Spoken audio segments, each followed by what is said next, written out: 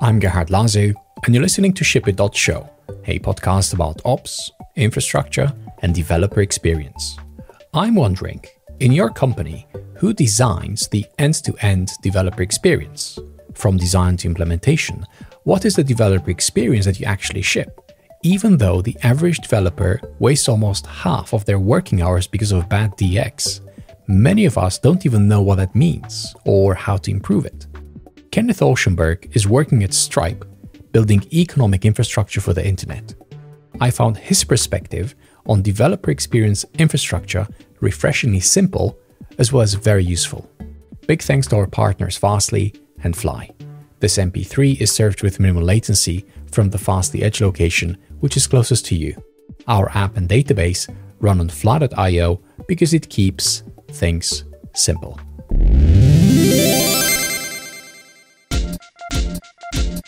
This episode is brought to you by our friends at Fire Hydrant. Fire Hydrant is a reliability platform for every developer Incidents are a win, not an if situation, and they impact everyone in the organization, not just SREs. And I'm here with Robert Ross, founder and CEO of Fire Hydrant. Robert, what is it about teams getting distracted by incidents and not being able to focus on the core product that upsets you? I think that incidents bring a lot of anxiety and sometimes fear and maybe even a level of shame that can cause this paralysis in an organization from progress. And when you have the confidence to manage incidents at any scale of any variety, everyone just has this breath of fresh air that they can go build the core product even more. I don't know if anyone's had the the opportunity, maybe is the word, uh, to call the fire department, but no matter what, when the fire department shows up, it doesn't matter if the building is hugely on fire. They are calm, cool, and collected because they know exactly what they're gonna do, and that's what Fire Hydrant is built to help people achieve. Very cool. Thank you, Robert, if you want to operate as a calm, cool, collected team when incidents happen, you got to check out Fire Hydrant. Small teams up to 10 people can get started for free with all the features, no credit card required to sign up. Get started at firehydrant.com. Again, firehydrant.com.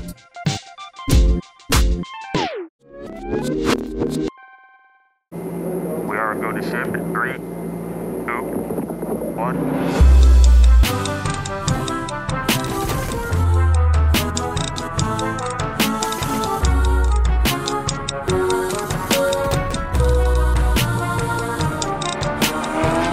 Kenneth, welcome to Ship It. Thank you so much for having me. It's a pleasure. So, in August, you wrote this blog post that caught my attention. The title was Developer Experience Infrastructure. And it wasn't the infrastructure part that caught my attention. It resonated with me at a deeper level since mm, I think for the majority of the last decade, my work was for other developers, or at least that's what I think. Uh, what is developer experience infrastructure? What does it mean? So I worked on that blog post and it was really like a, more an internal process for me to kind of put my, my, my, my, reflections into a blog post.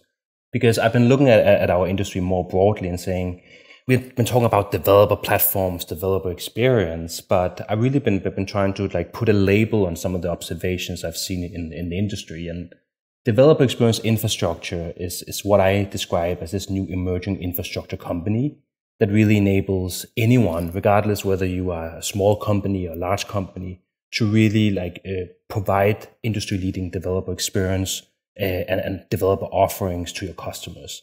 So in, in a sense, it's really this new emerging layer with all the table stakes things you need to provide today to provide a, a great developer experience and really all the packaging that you need to serve developers. Okay. So is this just a very nice word for products where developers are the end users? You could say that, but like I think you need to like take a step back. We can look at like I'm building a SDK and I'm building a CLI. That's for developers. Is that developer experience infrastructure? I would say it's not, but it's part of the recipe. Really, this is a similar perspective you can apply on like cloud infrastructure mm-hmm. in the sense that we went from being in our own uh, data, data, uh, data centers. We all had to buy the hardware and operate things. And now we moved to a cloud native world what I see around like developer experience in our industry is that I'm kind of seeing seeing the same is that it has become so complicated. I won't say complicated, but the market demands for you providing a great developer experience has become like really like the bar has been set so high that you as a small company or even a medium sized company cannot build those pieces anymore. So this is really like a part of like uh, the maturization of the market that instead of you building everything in house, now we reach this maturity point in the market where there's actually a lot of like table stake solutions you can go up, you can buy off the shelf that you can use to provide a part of your developer experience to your customers. So in the sense that if I'm building, let's say I, I have a weather company and I want to have an API that provides weather data, should you go out and build your, your own infrastructure and how you provide documentation, SDKs, other aspects, or, or, or in 2022 or 2023, as we look into the future, would you go out and buy some of those solutions from, from companies that's been specialized in that? Mm-hmm. Are there companies that focus solely on developer experience infrastructure? Can you think of a few examples just to make it clear? Eh, yeah, like there's actually quite a few. As a part of my blog post, I kind of also been working on, putting together what I call the developer experience infrastructure market map, where I try, trying to break out the market in the different players. And and like I, I see a lot of, a lot of broad categories as like a category around documentation and like uh, SDKs. And there you have like, I think the chronicle example is readme.com. If you go to a lot of like um, documentation pages for, for smaller companies, you're basically see them using README. And there's uh, API Matic, Stoplight, Redocly. There's a lot of players out there that are providing various aspects.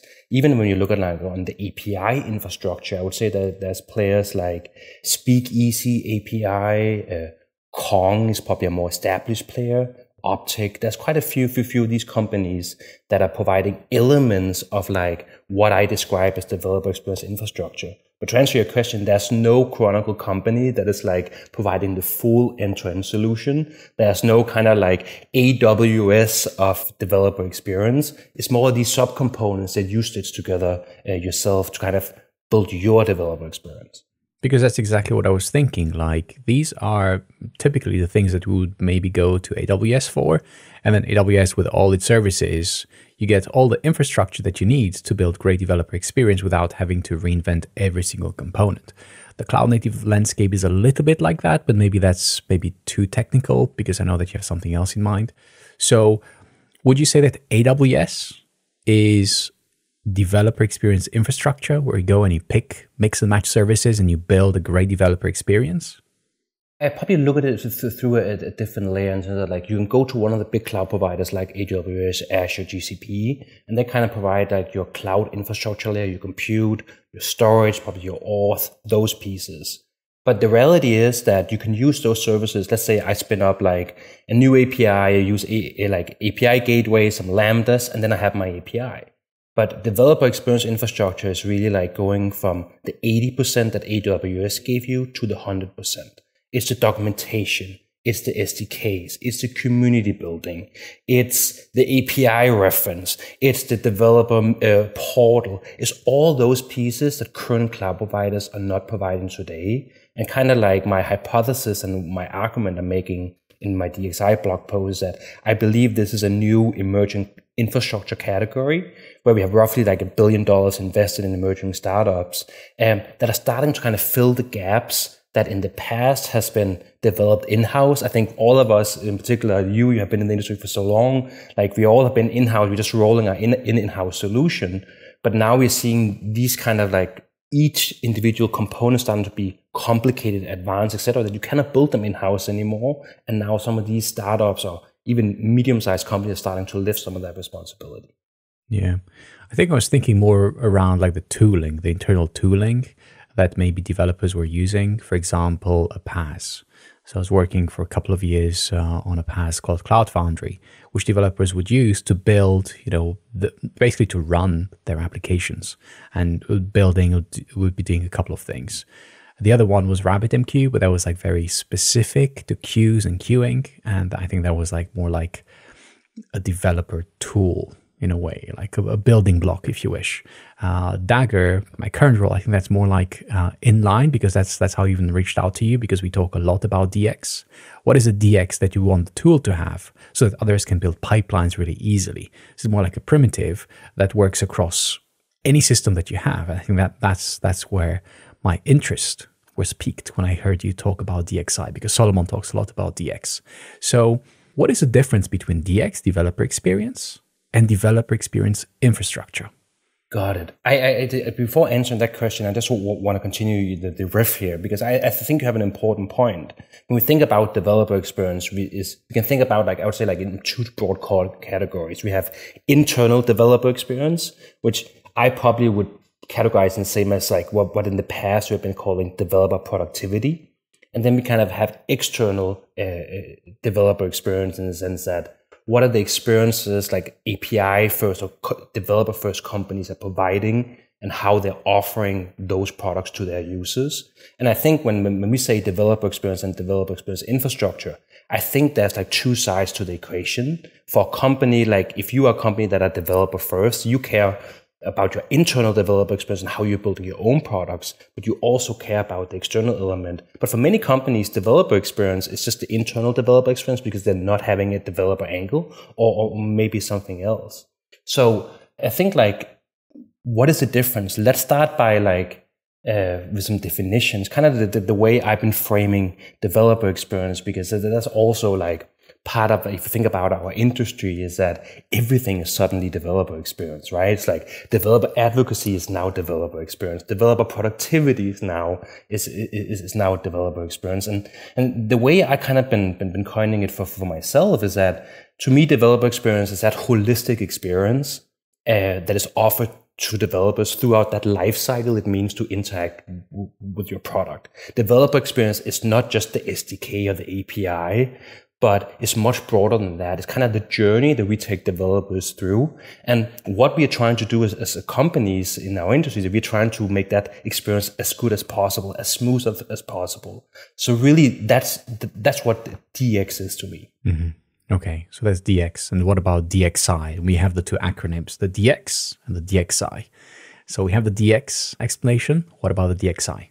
Right. So, so like, but if you think about like DX as kind of that holistic experience, to me, DXI, so the, that's the infrastructure piece, that's the products and services that kind of fits into that holistic experience. So they're the kind of like, they're the, the infrastructure layer that enables the holistic developer experience.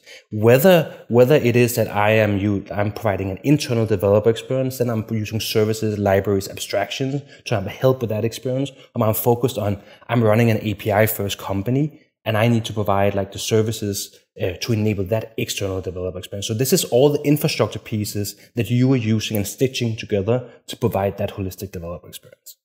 Got it. Got it. Got it. Okay. So why is it important? Why is the developer experience and the developer experience infrastructure, why are they important? For, for a lot of different reasons, like kind of like um, you can apply a lot of the different aspects to, hey, why does it matter, like the experience we're providing to developers? In the same realm as like, why is it important for, for you to have a well-designed product to your end users? You could argue that if you are building a product targeted developers, or you have a developer faced offering in parallel to your consumer, your B2B offering, it's like, your DX, that's kind of like your UX is your bread and butter in terms of that journey and, and you're providing to developers. So it's really, really important for you that you have an as optimized experience to make your developers happy. If you have like an API and it doesn't have a great developer experience, like you're probably not going to see a lot of adoption. You're not going to see a lot of satisfaction. You're going to see a, a heck of a lot of developers probably being forced to make this into integration with your system, but it's not going to be a great experience. I also think you can apply a, another another angle on this, and that's really like more like a financial economic perspective.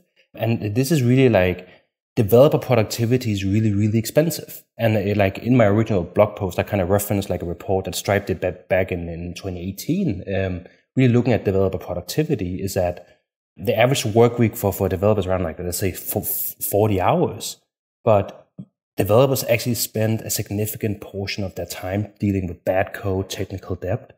And with the investments we are making into our engineering teams, that's really, really expensive. And what we at Stripe really quantified is that over a 10 year period, we see that as a trillion dollar opportunity to really like uh, in, in, G, in, GDP growth to optimize a developer experience and make it easier and better for developers because we can make building solutions um, more productive.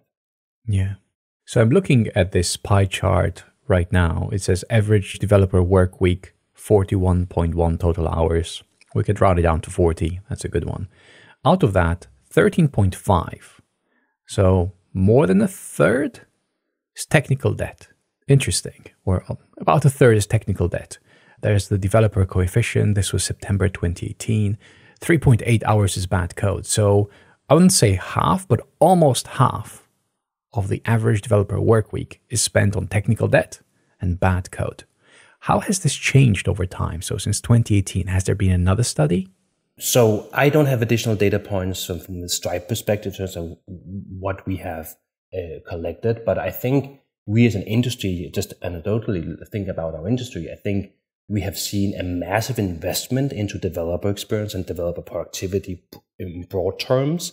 And I think as we kind of got gone through like the on-prem kind of era to now cloud native world, I do think we, we have seen a significant investment and a lot of paradigm shifts into how we're building software. So I did like my hypothesis here would be that I definitely think we've gotten into a better spot, but just like based on like how I see engineering teams operate, etc., I still think we have a very long way to go. And I think if if if you think about our industry in broad terms, like um, we are somewhat still a new industry that is learning how to build software. And I think a lot of the processes and how we are working are still somewhat new. And we as an industry are collectively learning every single day and how we actually build this thing we call software. So I also think there's an element of just the maturity cycle in terms of what we do as an industry and then how we can actually as an industry move the needle, make us ourselves more productive uh, through the abstractions, developer tools, and such we provide. Yeah. Okay. Okay. I can definitely see that. So for someone that's wondering what are the components of DX, what goes into developer experience? We talked, it's not just the code it's not just the documentation, there's a lot more. What are the components in your mind for DX? I kind of see it as a life cycle and a, a journey, so to say, right? Like we think about like, if you think like I am joining, I'm looking for payments API. Hey, I, I'm, I'm biased because I work for a company called Stripe, right? Like there's definitely the element of like content, blog post, like how, how, how, do I discover content? Then there's a documentation aspect. Hey, how do I get educated about the product uh, that I want to use? And then there's the whole product aspect, the APIs, the, the SDKs, the tools, the abstractions, the, the error messages, all those pieces. And then there's also the community element in terms of like, how do I interact with the product teams? How do I get a sense of like the community I'm a part of? How do I engage with the teams? All those other pieces. So I think in broad terms, I can kind of look at this as a life cycle. And that's really also like, to my previous point about this is a holistic experience when you interact with a developer facing product you if you have like an amazing developer community but your product experience is not great, it's not a great holistic developer experience. It really has to all to come together for you to having that industry leading developer experience. I have to say, I've definitely seen it with Stripe. It's one of the products and one of the components that we get to use, right? Many of us get to use that works really well from so many perspectives. The code itself, the error messages, the documentation, even the community there's like a lot of, not to mention examples, content. There's so much content, so much Stripe content, whether you want to integrate with it, whether you need help with it. There's just so much out there. And I can see this is an example of good DX. And I want to believe that you had something to do with it. I, I would definitely say that I have a tiny part in, in terms of like uh, uh, the developer experience we provide uh, at Stripe. So, so just to, to, to like uh, to do more like a formal introduction, uh, these days I'm I'm a product manager at Stripe. So I, I really joined Stripe to, to look after pieces of our, our developer experience. I was really focused on our product developer experience, on the developer tools, the CLIs, SDKs, our dashboards, all of that. Um, these days, I'm, I'm, I'm leading a team uh, building Stripe apps uh, that is really like the application layer we have been launched uh, earlier this year on top of Stripe to really enable developers to kind of truly build new experiences and integrations on top of us. I think like a, a good good parallel would be that uh, think of your iPhone is that uh, before we launched Stripe apps, or all the experiences you had in Stripe, they were pre-installed and built by Stripe. Now we kind of enabled an app ecosystem uh, on top of us to kind of build these new new set of experiences.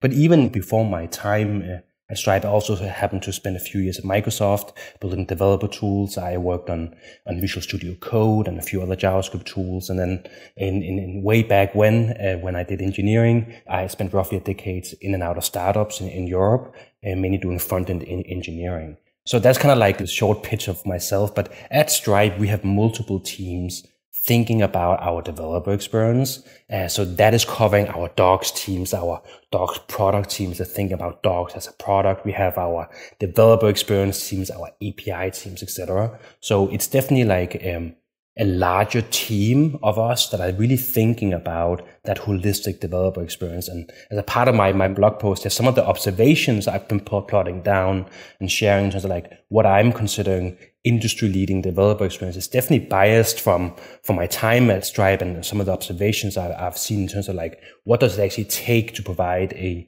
a the developer experience Stripe is providing today. Mm, I see. So you've been at Stripe for a few years now right? I'm looking at your blog post. There was joining Stripe 2019, I believe. Yeah, time time flies. It's, it's almost the end of 2022 now. Yeah. Yeah. What 2020? I don't know what happened. 2021 again. Like it was like a weird one. 2022 is like only like when everything came rushing, right? Because there were two years on pause. So, what was it like for you to be part of Stripe for the last three years? What was it like to work there? Stripe is a pretty amazing place in the sense that when I joined back in, yeah, 2019, time flies. We were a much smaller company in terms of where we are now. But I would say like, I've never seen a, a set of founders and a set of people that are so passionate about long-term thinking and thinking infrastructure. And I'm, I've been really, really grateful uh, to be a part of, of, of, these teams that we have built that are really thinking uh, with a rigorous attention to detail I've never seen anywhere in, before. And I, I came from Microsoft and I think we did a pretty good job in terms of building developer tools, etc. Just like the, the, level of thinking and just like uh, uh, the caliber of people that have been working on a lot of different things has definitely been a big eye opener to me. And then doing like uh, the, the peak of the pandemic, like I remember like when, when the pandemic started and, and we all like had to go remote and we were experiencing massive like adoption because suddenly the whole world went online, right? Yeah. So it's been a really, really interesting journey in particular like working on payments, which I'd never never worked on in the past because I am I'm, I'm, my bread and butter is, is developers. So it's been been a really interesting journey um, to also kind of like go up. I would say like up a different abstraction ladder. Uh, in the past, like I, I worked on on foundational developer tools like VS Code and TypeScript, working on like cloud infrastructure and then going kind of up the abstraction ladder and working suddenly on payments infrastructure that is kind of a vertical on, on top of like the more foundational layer was in the past. So it's, it's been a really, really fun, fun learning journey. And I, I do think like when, when I think about Stripe as a platform is that kind of the irony is like when I joined in 19, it's like it's still early. And I do think Stripe has a lot of interesting things that we can do with the platform going forward. Okay. Okay.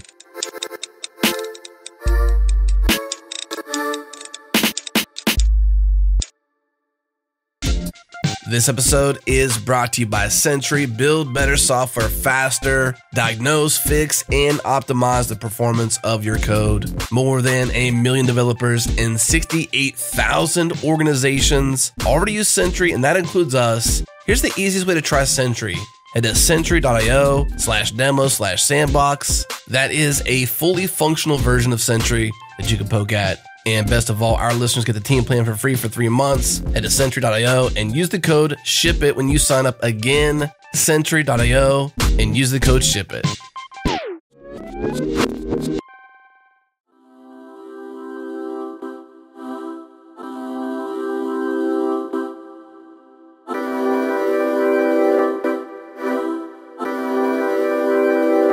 So, from a DX and DXI perspective, since that is the context of this discussion, can you give us some specifics at Stripe from the last three years that helped shape some of your thinking?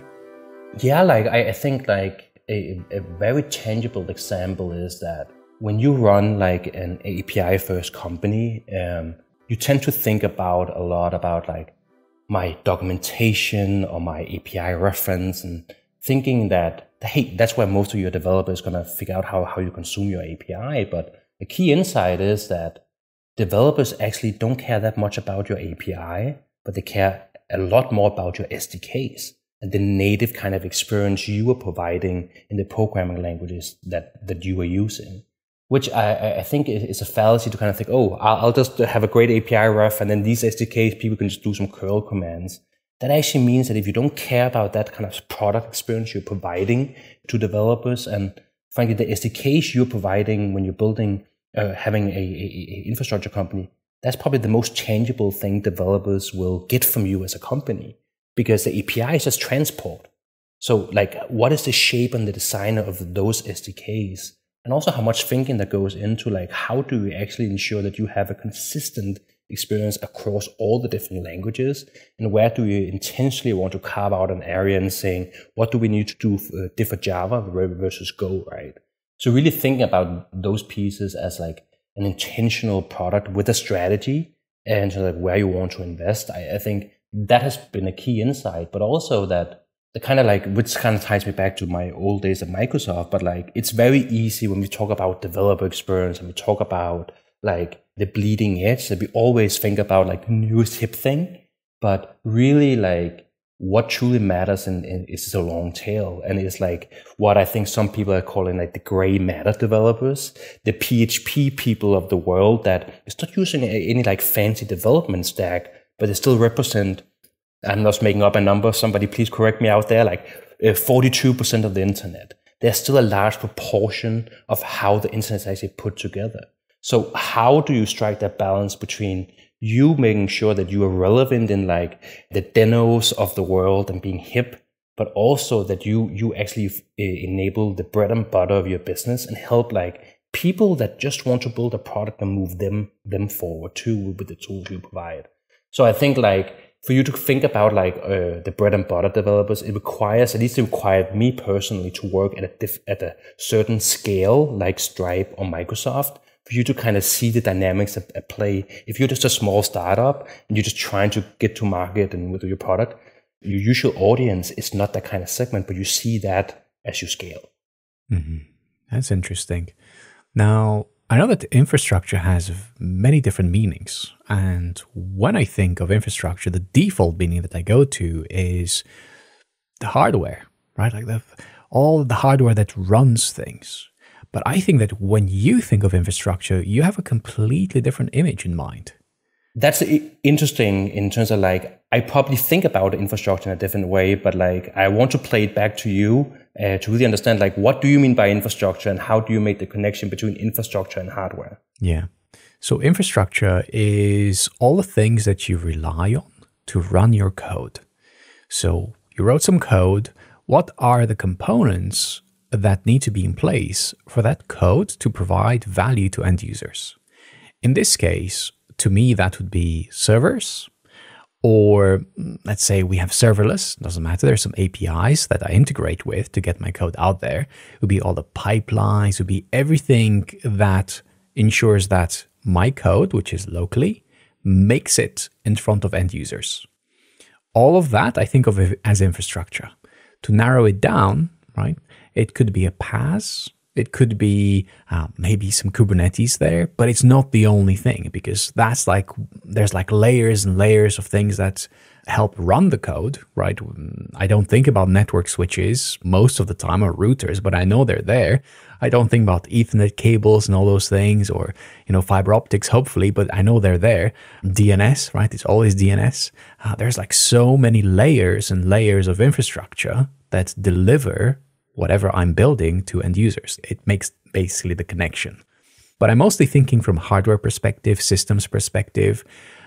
I know that many people, when they hear infrastructure, they think about something reliable, something that they can build on top of. And it doesn't have to be of a certain type. It just means something I can trust to get the job done.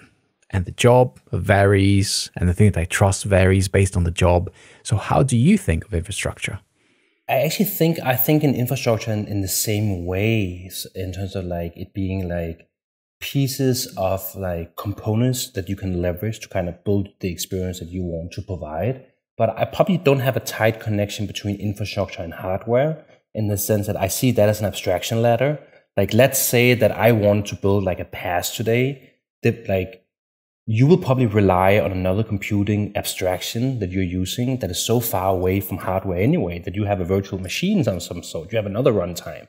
So even as you kind of compose kind of like a new kind of computing abstractions as infrastructure, hardware for you anyway is abstracted away. So when, when I think about infrastructure in a DX or in a software context is that if we think about how I'm composing a modern, let's say software as a service business, I probably need some sort of compute layer. I probably need like a Vercel, a Netlify, or like AWS Lambda, or how I'm putting my, my stack together. But at the same time, I probably need an authentication piece that is not a hardware piece, but it's a, it's a set of services I'm using to provide auth, right? Or maybe even I'm using a combined provider that does all it for me, like Firebase. So what I mean by that is that to me, infrastructure is like the business components that you're leveraging to kind of put your product together. Mm. And the argument I'm making for DXI as a category is that we we reached this maturity point where if you have to provide all the aspects of a great modern developer experience covering your product, docs, content, community.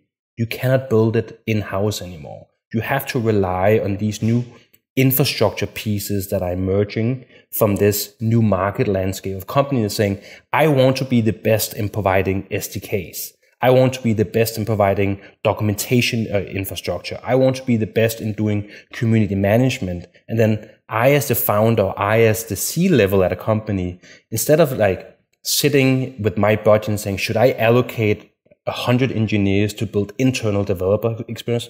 No, you know what? I would rather like use a different part of my budget and use a vendor for these kind of things. So it's through that, that lens that I'm seeing in infrastructure.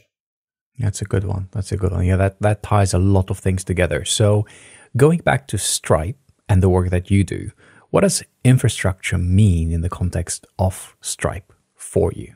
So in a sense, like tying it to what we provide as Stripe is we provide payments infrastructure. So as overall as a company, we are providing the platform primitives and the experiences uh, around payments for you to operate a modern business. Whether that is you're coming to Stripe to do just payments because I need to accept credit cards or uh, some payment method in the world, or I'm doing banking or I'm doing capital because I want to do a lending product or I want to run a marketplace, a two-sided marketplace. And Stripe has various product offerings that we are providing as platform primitives that you can kind of plug into your product. So you don't have to worry about all the financial complexity we kind of abstract that away. In particular, in terms of what I do, and like these days, I'm really hyper focused on, thinking in, in platform primitives and extensibility in terms of like through the products we're offering as Stripe, what are the pieces and the primitives we can provide so you can build the next kind of generation product on top of our platform and really about like opening up our platform so all the primitives we have available internally, how can I make them available to you externally so you can consume them and stitch kind of new product experiences together? Whether that is like I install an app that is synchronizing data between some accounting system and Stripe, or I want to build a whole new kind of experience that runs natively on Stripe. So th- th- those are the things that I'm really obsessed with. I do think that we can also think more, more broadly about what some of the teams at here at Stripe are providing, and that's that's our, our developer experience. It's our SDKs, it's our API abstractions, it's the design patterns that our products is built upon. It is the supporting tools like the Stripe CLI, uh, or it's the integration of Stripe in editors like Visual Studio Code. So we have a, a bunch of different teams that cares about different parts of the developer experience that when combined is known as like the Stripe developer experience and what we offer to developers as our product. So I, would say that that today that's just like one element of Stripe because the reality is that for a large platform like ours, like developers are just one segment today. We also have like many users that are just using Stripe to run their business. I'm a founder of a company somewhere in the world. What do I do? I open the Stripe app on my phone and I can get an overview of, of the payments or I go to dashboard.stripe.com to run my business. So I think it really also depends and through that lens of like who your audience is, etc. We at Stripe, we are still definitely a, a developer first a company that cares deeply about developers, but at the same time, we also care about more kind of people than just developers. Yeah, yeah. Okay. I really like this holistic approach. It's not just a certain type of persona, and it's definitely not just a certain perspective on a word, whether it's infrastructure, whether it's experience, like we do say developer experience, but we are thinking about the experience in the broader sense. And that is, I think, important to underline. You reference another very good blog post by Shawn swyx Wang, The Radiating Circles of DX Architecture. And he, there's a few sentences which caught my attention, but this was the first one. Most companies will ship the developer experience of their org charts. That's a very interesting one. It's like Conway's Law applied to developer experience. What do you think about that? I think that's probably true. And I think broadly about our developer experience, there's probably a lot of companies that are not truly developer first in the sense that they run a traditional product and then they kind of bolt on this platform on the side and they they like, like they have like a little team put together developers.company.com and then they have a developer platform. So I definitely think in, in the sense that for a lot of companies, you running a developed part of, of your product, that's kind of an afterthought.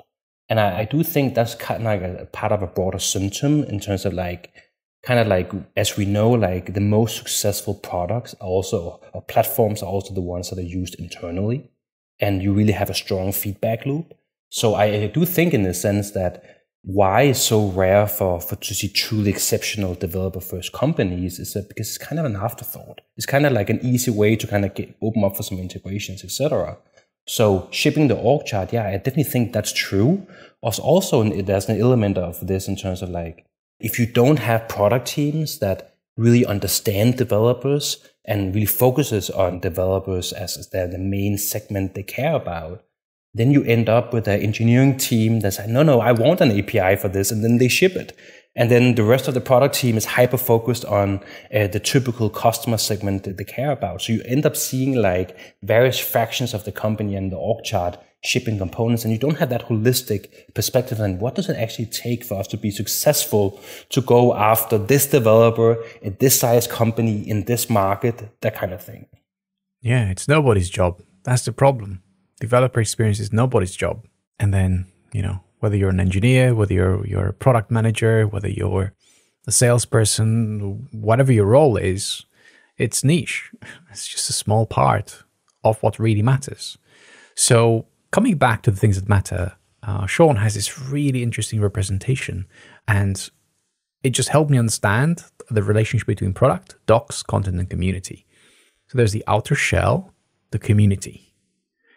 How do you think of the community that you have, the Stripe community? I, I like, think about our developer community. We're doing a lot of different things, and I'm I'm just like paraphrasing, like in terms of like what our, our wonderful developer advocates and our, our folks that are focused on that are doing. But if we think about the community we have today, is that we have like advisory boards where we have a community of developers. We're running um, things like um, support for on Discord. Uh, Stripe has been known for quite a while that I think we had one of the longest running IRC channels where everyone would be, be able on Freenode, people could join in and, and answer questions. We do like meetups. We speak at conferences. We do like, uh, we have a, a, very active like YouTube community where we have like product teams, like some of, of my teams uh, where we, we do monthly broadcasts and it's like, hey, we're working on this feature, getting feedback, etc. So what we're really trying to do uh, broadly is trying to have like an interactive community where it's a two-way feedback channel. Is that I want to learn about some of the needs for my customers and I want to build the right set of things and we want to engage on multiple fronts. And I think that's probably an element where a lot of like companies are thinking like developer community and developer advocacy mainly as like a marketing channel. And to me, it's also like a very basic, like customer development channel. It's my community of people that are using my product. I, I want to solve their problems. I want to build the right set of things, etc. So to me, like community is like, it's kind of both ways is that it's a way that we can enable like our product teams, our engineers to talk to customers and the other way around. Yeah. Yeah. I also think that's super important. That is your interface, if you wish, to the users. And it's not the product. Most people think it's the product. Sure, to some extent, of course, right? Because they have to interact with it. Otherwise, you know, like that's that's where everything starts. But it's people talking to other people people that are maybe not Stripe employees, people that, you know, have a good experience, have a bad experience, all they come together and what do they do? How do they help each other or not? What is the content that they find? By the way, that's like the second layer. There's the community, there's the content, and that's how that's what they interact with, right? Because each of these people, they create lots of content, whether it's questions, whether it's answers, whether it's YouTube videos, whatever it is, they create a lot of content, applications, maybe even, because going back to Stripe apps, how to use them, so on and so forth, blog posts like this one. And then there's Docs, right? And Docs is very close to the product. Uh, now, would you say that not having Docs is an option? There's an API, it's self documenting. That's okay go with that? Do you think that's enough? No, not at all. And also, like the, the way I go about building docs for my product is that they're part of the product. Every time you ship a new feature, you also write the docs. And frankly, like when you build great products, you actually start with the documentation. I'm a, I'm personally a big, big believer in like writing the docs first, or like doing it to like Amazon style PR FAQs. That you write the press release. What do you want to be true when this product is successful? Then you work backwards from that. And a lot of times, like, like I can kind of like draw on previous, previous experience here, but like when I was at, at Microsoft and we were building VS Code, like the way we would be building VS Code is that we did monthly iterations. And, an iteration would then end up being three weeks of product development, so engineering, design, etc., and one week of polishing. And in that week, we as a collective team, we would be writing the documentation, writing the blog post, fixing all the issues. And then after that week, collectively, then we're ready. We're putting the release notes together and then we press the button. And it would be me as a product manager. I would be writing the documentation together with everyone on the team, regardless of like whether you're a designer, engineer, engineering manager, we all be writing that documentation together.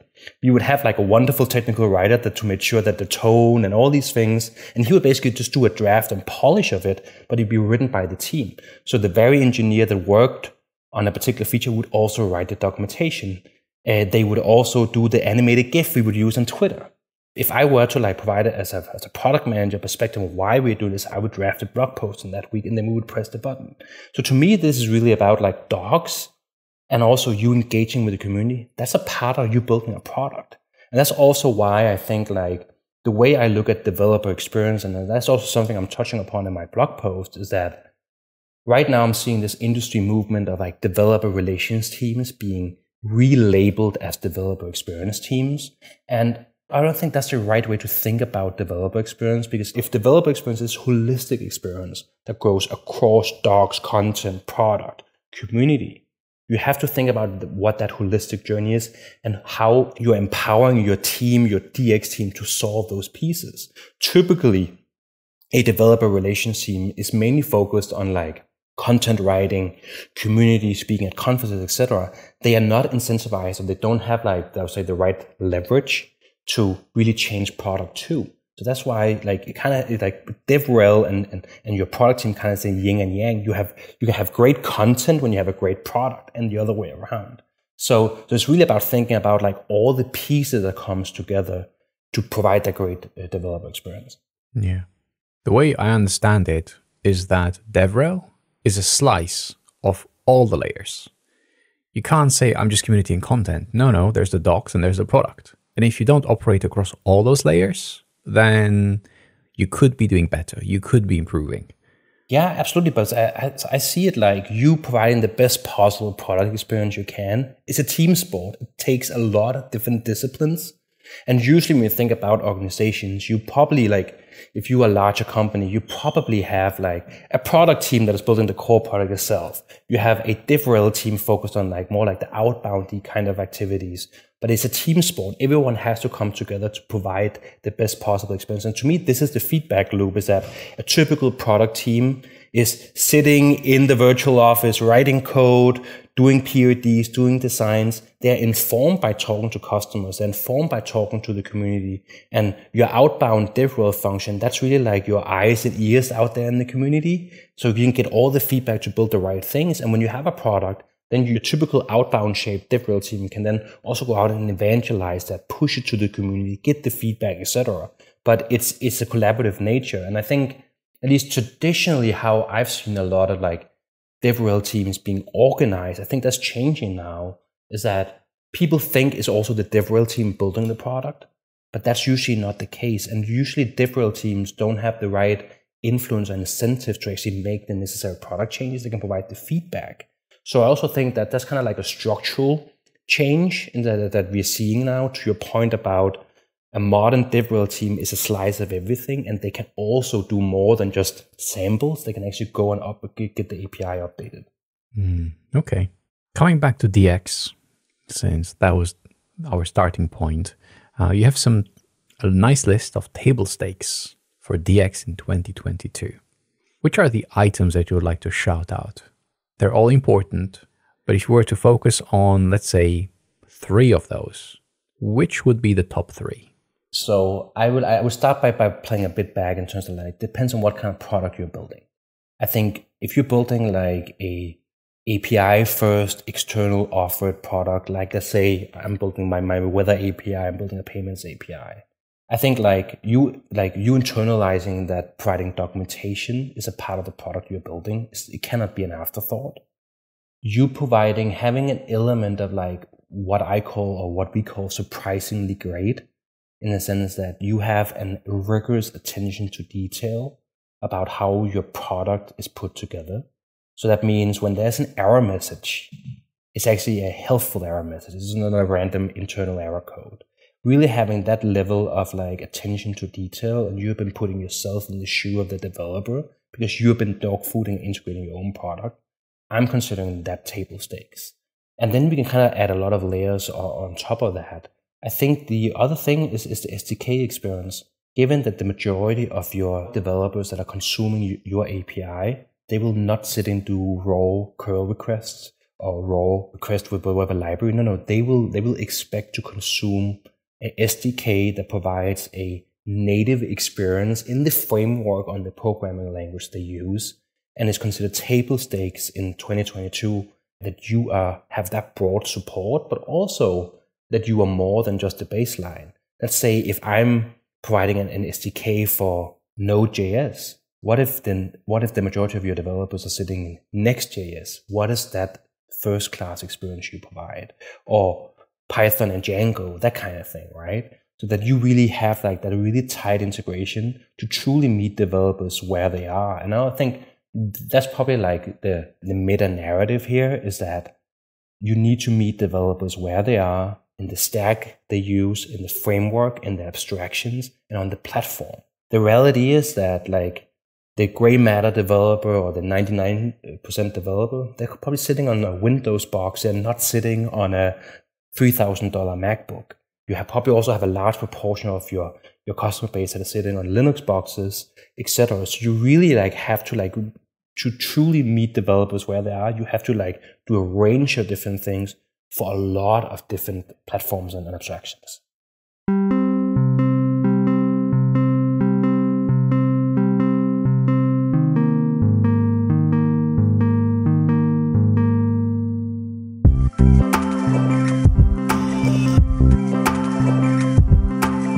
What did you find most surprising in your DX journey? Something that you weren't expecting? It was like, wow, I didn't realize this was that important. This is a good question. And like when, when you say like my DX journey, is that like I'm kind of putting on his product hat, thinking about developer experience and building that out? I, yeah, like I, I think like to, to, to the point I now brought up a, a few times is that it took me to work at a large scale to really internalize that the majority of developers are not sitting at the bleeding edge. And that's probably my, my own personal bias coming from a background of working in startups, being hyper obsessed in what's on Hacker News, always like scouting through Hacker News and GitHub, looking at like TechCrunch and always chasing like the, the, the new shiny thing. And then when you launch like an, a product and then you realize like, oh, oh, god damn it, I forgot about PHP or I forgot about like um, C sharp and ASP.NET when we sold into this enterprise customer. So really looking beyond just like what's new and hip and really truly understand like who are your customers and what kind of tech stack are they on as you kind of like are providing a platform, whether that is a platform that's exposed via APIs or it's a platform that you're providing where you have a, you're truly enabling people to build on top of you that I'm super focused on right now with apps and building like a foundational extensibility platform. Or it is that I am providing a code editor like VS Code that actually needs to run on a lot of different uh, different platforms. And I think, yeah, like that has probably been the most surprising element. Uh, that in hindsight is like, yeah, naturally, why can why why didn't you think of that? Yeah. But you, you just don't see that if you are focused on a, a very narrow specific specific niche. Um, is you only see that truly as you go at, at scale. Mm. Okay, that's that's an interesting one for sure. It's interesting that the infrastructure is supposed to be reliable. It's supposed to be boring because that's what makes it reliable. It's supposed to be a known element. You would not put the latest shiny, the latest exciting at the core of your business, would you? I mean, that would not be very wise. Brave, maybe, but not very wise. I mean, maybe if you have like a, the blast radius, if you have that under control and you understand risk mitigation and you're doing experiments, sure, to some extent. But uh, that's interesting. Like, how do you do experiments at Stripe? How do you introduce new and exciting things while limiting the blast radius when things go wrong because they will, right? It's an unproven new tech. I mean, do you even do that? I don't know. Yeah, like I, I actually think our CTO DPS, uh, David, he gave a really good keynote. I think it was last year, the year before. Uh, you can probably uh, dig it up. We can put it in the show notes on YouTube and stuff. How we run product development, how we do experimentation.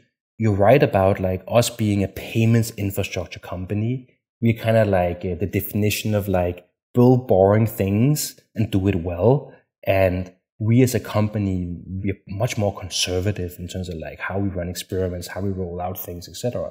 But what I talk about is like not necessarily the infrastructure we operate, but it's the integration of our infrastructure towards other platforms in a sense that that it's very easy for you to build a hey i want to build like a authentication as a, a, as a service and then you only focus on like the new kind of like really interesting loud segment on hacker news but the reality is most of your customer audience and your business opportunity is in a different world and your job is to really help them move forward in the technology landscape. And that's your opportunity. Yeah. It is not to kind of help like the bleeding edge because they will probably roll their own, right? So, so it's really you to understand like that opportunity in the market and what role you play. Maybe your job is with the tool that you provide, whether I'm building a new like local de- developer tool, I'm building a new infrastructure service that, you, that is truly your audience. You have a unique opportunity. But for most infrastructure companies, even uh, even developer companies, your your opportunity is a long tail and bringing that forward. Mm.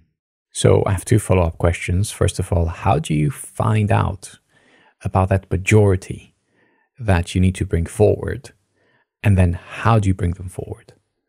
That depends, right? Like I think I can look at this through the lens of like a company like Stripe that is providing payments infrastructure what what Stripe is, is doing is that we're kind of building a new abstraction layer to the financial system, and we are helping traditional businesses that are not online, they're not digital native, to kind of go forward in this world. We do that by going working with their businesses, really enabling them and saying, "Hey, like, are you doing retail payments? Maybe you can do that online, etc." So that's the element of like business development, so like what you can do here and what the tangible opportunity is, and how you can help them bring them in into the digital world. Or you can look at it through the lens of productivity, saying, hey, you're doing ID verifications the old school manual way. We have a product that can kind of do, to do that for you, that kind of thing.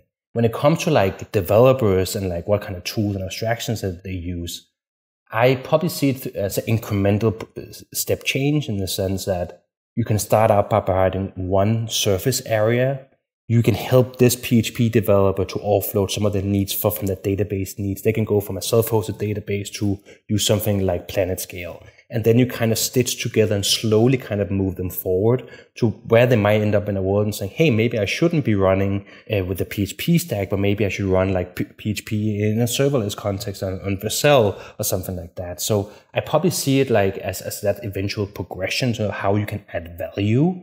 And I think it's a typically a fallacy to think about like what we do with our technology is that just because it's new technology that is valuable no that's probably not the case right mm. um, it's a trade-off constantly what challenges do you see ahead for dx and dxi there must be many i mean things are improving for sure but there must be some big big obstacles like things that maybe the majority needs to understand or accept before the new big step can be taken or like the next big step can be taken? There's an element, uh, I think the first thing that comes to mind, and I'll probably think about more, more things that I'm kind of talking out loud here. I think the main thing that is very top of mind for me is the balkanization of the internet in the sense that the world we're moving towards to is that as we kind of like, you can argue that we're at the end of globalism and we are now moving into like a more balkanized world where we're moving towards a world where we have like the European internet, we have the American internet, we have the Indian internet, we have the Chinese internet that are probably going to more operate as isolated islands with their own set of infrastructure needs, with their own set of like uh, compliance and regulation about privacy, how data is moving, etc. What does that mean when we think about providing internet services and we think about providing developer focused services? Because if you think about what has happened in the past decade or so, we have gone from I'm running my own data center in Denmark or in Mumbai, and I have full control that we kind of offload that responsibility to cloud infrastructure providers and kind of abstract that away. So we don't think about the routers anymore, but we think in these high level abstractions. But what does that mean when I'm, let's say, operating, I want to start a new shop tomorrow and I'm doing a, a pure API play? What does that mean that I'm now using these infrastructure in providers in between. And now I have to navigate the complexities of how data is moving, different regulation, etc. So I, I think there's a lot of like unanswered questions as kind of like the internet and our industry is going from being somewhat the wild west to a more regulated world. I think that will have a profound impact on how we ship software and what kind of infrastructure and developer experience abstractions we are using. And I think like the first question that popped up in my mind here is that like in five years from now, would I sign up for a infrastructure provider that provides me service A, or would I rather like have a deployment model where no, no, they, they're not hosting it for me, but I'm buying the software. Then I'm getting a Docker container uh, and then I'm running out of my own Kubernetes cluster. And I am responsible for running it in the five different zones of the internet.